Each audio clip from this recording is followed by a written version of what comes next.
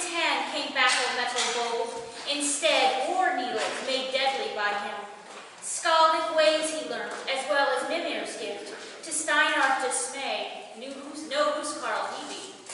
In days of harvest, grains like sif's hair turned, fat grew the cattle, and nuts fell like rain. Busy were the folk gathering the fruits Jord had provided them before feathers fall. Deep in cool forest, Johann hunted hart upon owl's perch. So he sat he ever so still, heartwood bent in hand, needle steady held, as forest king came below oaken rest.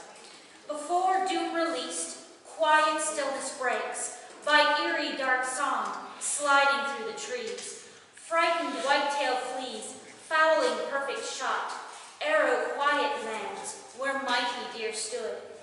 Forest silent grows, pulse quickens in throat, battle dew on hands, causes bow to slip. Haunting song rises, standing hair on neck, folk in field halt work, listening with dread. Up swirled the song, setting hearts to race, round, round it curled, through the marketplace. Hushed went the people, still like a rabbit, waiting for the pounce. Death was stalking them. With dread hanging low, squirrel's path he took. Branch to branch he ran, hurrying to home. Stop at village edge, he listened closely, watching from the trees for a safe descent. Dire silence fell, birds before birdsong broke. The spell fear had cast, men to council went, the women to home. Johann dropped from tree and joined the men's talk from behind the throng. Action was called for by mighty Steinar. Offered he to lead, hunting party strong. Bold men and women agreed to follow the tracks of the beast to its mighty lair. Quick in darkness stood, cornered in shadow. Johann's heart grew cold, doom seeping in it. Tried he to object, but unblooded he, shouted down by those thinking him coward. Ran he from Longhall, wise counsel seeking, to the rude caller, Michael of the Ram. The stones he wished cast, to read father's fate, hoping to dispel the feelings of dread. Breathless he entered to fire-lit darkness, eyes seeking through gloom for the man within. Kin to be stealer, son of the mountain, voice like the thunder, heart like Freya's tears. Welcomed was Johann wise man's shelter, seated by the fire, offered bread and mead, politely waiting for silence breaking. Why seek you my help, young son of Steinar? Cast Odin's furrows for my father's fate. The creature he hunts is more than he thinks. I fear for his life and those who follow. Many will be brought low if my feelings true. Spread high before him, swirled he the runes, within wolf-hide pouch, chattering like teeth. Reached he in his hand and drew forth a rune, laying, laying before him the pattern of Norns. Death I see within, the casting of the runes. Not from mortal strength will the monster fall, but from quick cunning will it be laid low. Hurry now, my son, for you may prevail. Seek you wise Dorcas, she of the white cap. Secrets of the beast she has in keeping. Gain from her knowledge its mortal weakness, if you can earn it, for guileful. Bidding him farewell, grim his demeanor, Johann took his leave, thanking wise Michael. To his home he ran, fear deep in his heart, a journey to make, a father to save. Dons he battle shirt, armor of fine rings, wrought by his own hand. Quiver of arrows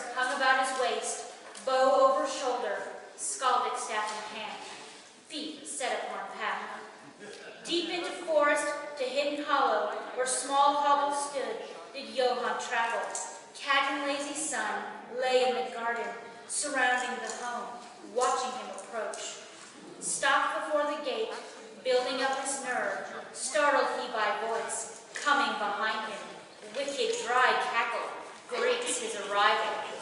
Who is at my gate, spoke she who lived there. I have come seeking counsel of your words. Grant me your knowledge of the stalking beast, hunting in this wood. I go to slay it, but wise Michael bade we seek your wisdom. Grant me your service, task I will set you. Complete them at will, and I shall reward you. With the knowledge sought, do not as I ask, and you go into the beast's lair. I pledge you my hand, I pledge you my hand and the skills within. I pledge you my mind and the fruits of it. Ask me what you will, and I will obey. No better mistress could I have asked for. Your pledge I accept, Johann Steinerson. See that you keep it. Enter the garden, welcome to my home. Open she the gate, and let him within the hollow door. Through the door she went, to a carven chest. Withdrew she, withdrew she from it a belt of bright gold, made of crochy seed. Around Johann's waist placed she the belt with her wicked gleam. This symbol binds you into my service. First task I set you, defeat the foul beast. Return with his foot the proof of the deed, for his ear alone told him the weakness. With bow to with bow to wise one, Johann took his leave, heart feeling lighter, returned to forest, to find and follow tracks of the monster, to save his people and to keep his word. Followed he the marks left by his father, deeper into dark heart of the forest. Crept from tree to tree, tree Johann moved swiftly, until voices sound just behind, just beyond his tree. Taking to high road, here he down below, to Svartalfar camp, set before a cave, sign of battle strewn before the dark mall. Black elk sat by fire, drinking and eating. Descending from perch, cunning plan dawning, coat hiding weapons, scaldic staff in hand, entered he the camp with smile on his face, bowing to the elves he offered to sing. All skalds are welcome wherever they go, so elves accepted with obvious glee, offering him place near the warm fire, and bade him to sing for their company. Sing for them he did, sang he song of drink and of battle glory, songs to lift spirits and to lift Meadhorn.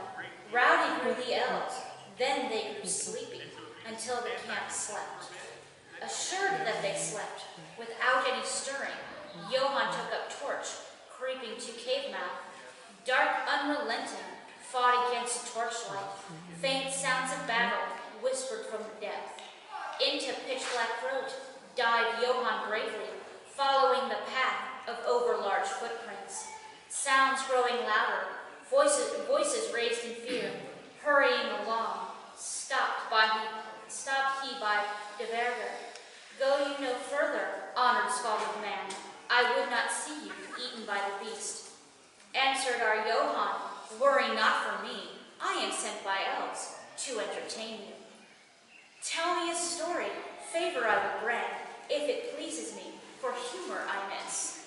Bowing to the dwarf, story he does spin, and tales of mirth fall from dry gray eyes.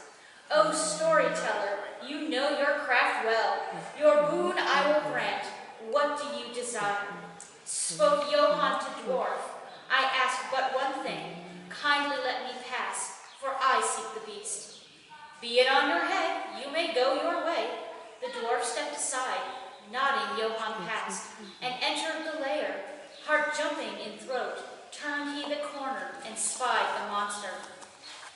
Wolf taller than man, true son of Fenris, playing with the men like a cat with mice. Spying ledge above, climbed Johann to it, taking out his bow, he waited for his shot.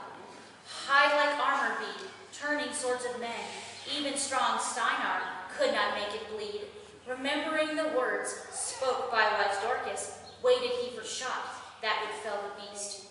Turned he the creature, glowing eye of gold, taking a deep breath, let loose his arrow, buried to feather into beast's skull. His great howl ringing, rattled Johann's ears.